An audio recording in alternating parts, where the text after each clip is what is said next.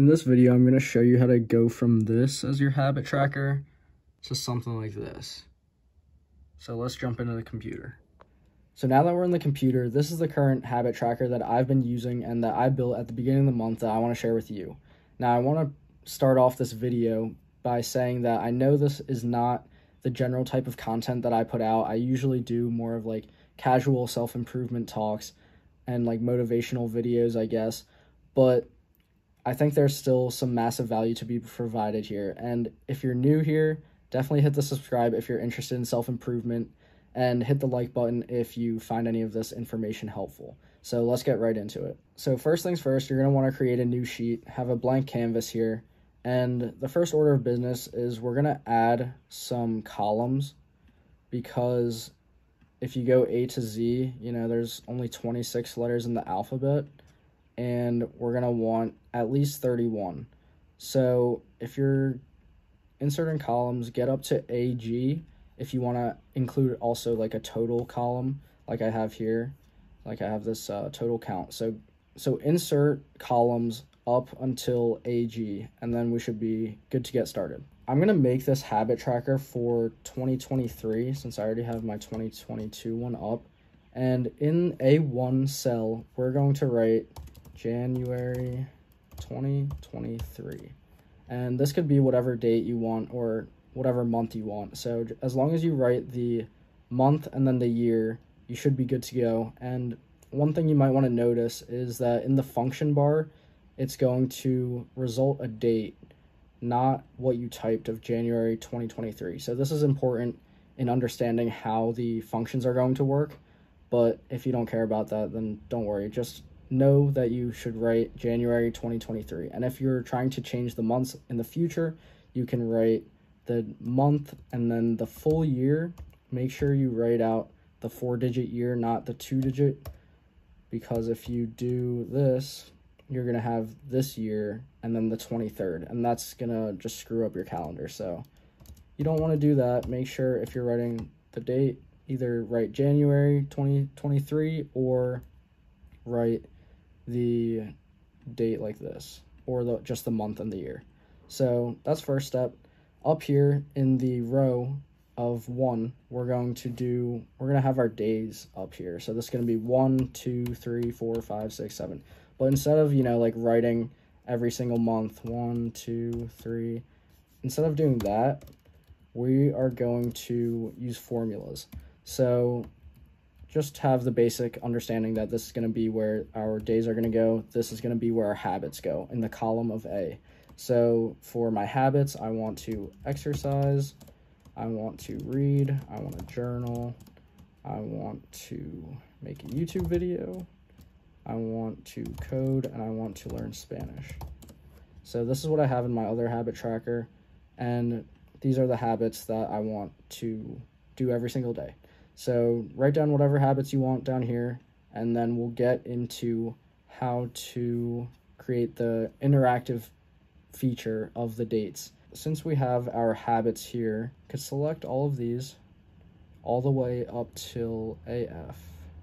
And then we can insert, we're gonna insert a checkbox, right? So this is gonna be where you tick off whether or not you completed your habit for the day.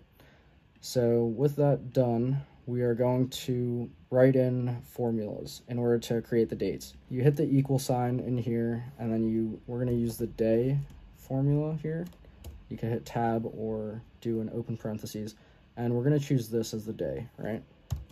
A1, that is the date, which would be returning January 1st, just here. It's going to be returning this, that one this is what we wanted, right? We wanted the first block to be the first day, but we're also going to absolute reference the column of A. So, you know, if we drag this across, it's going to still be 1 because it's still referencing this day, right? So that's not what we want. We want to make it so that this is 2, this is 3, this is 4, this is 5, etc., etc. So in order to do that, we're going to do use the day function again, right? But then we're going to do a1, and we're going to absolute reference that as well. At least we're going to absolute reference the column. We're going to absolute, absolute reference this column, and then we're going to add the previous day, right? No absolute reference there because as we slide across, it's going to populate the days automatically.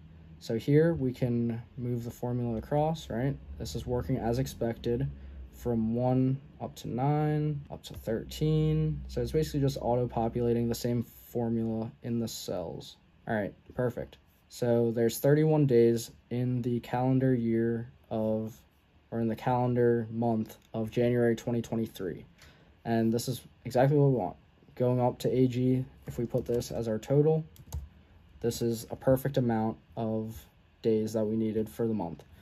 But if we take this and we make this February 2023, there are only 28 days in February 2023, right? So if we keep going down, look at this 28, 1, 2, 3 at the end. So that's not what we want because we want it to stop at 28 and not go into the next March month because this would represent March.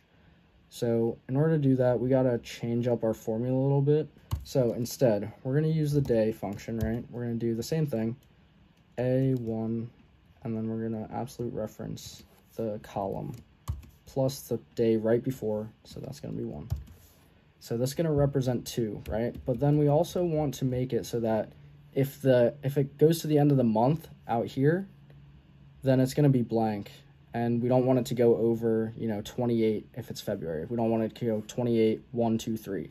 So in order to do that, we're going to use an if statement here. So if this day that we have, if it's greater than 1, we will return the day. So we could just take this actually. Here. Copy that, Control C, and paste it there. So that's going to return if the day is greater than 1. But if it's not greater than 1, we can just return an empty string and that should end it off.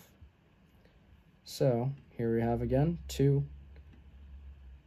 three, four, and if we drag this all the way across, all the way down to AF, look at that, 28, and then it stops here, stops here, blank, blank, right? So this is perfect. This is exactly what we wanted. And if we change this back to January 2023, you could see that it goes back. There's 28, 29, 30, 31. So let's let's uh, clean this up a little bit. I'm going to make this first of all centered and then I'm going to make it so it looks like this, right? So you can see it all on one sheet and it's not all spread out. So in order to do that, you can just like click right here. You can double click there and then it'll auto size the width of the column to the widest thing in that column, if that makes sense.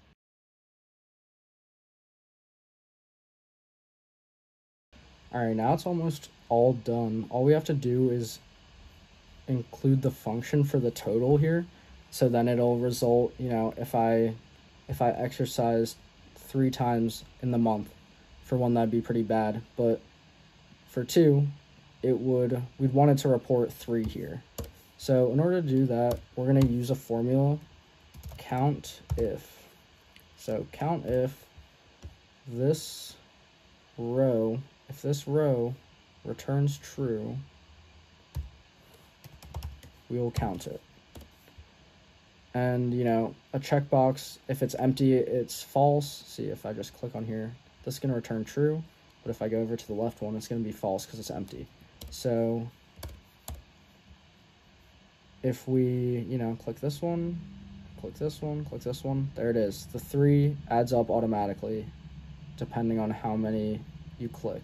And then we can just drag this down to autofill for other ones. So we'll just click some random ones here, see if they count. And look at that. At the end of the month, these are your totals. And you could like track it as you go, see how many times throughout your month you've been on a certain habit. You could see which one you've been the most successful with. And yeah, this is basically the template and outline of the habit tracker. Now you can, you know, customize it as you wish, choose the different colors. I'll just do something pretty, pretty basic for now. And then there it is. And now all you have to do is copy this you know, paste it here. This is the second month, third month, fourth, You get it all the way up till December. And then all you have to do is change to 2023. That's February. And then it changes the dates here, right? You see that? This is going to be 3, 2023. 31 days in that month, I guess. 4, 2023. Only 30 days, so then it only gives you that amount. 5, 2023.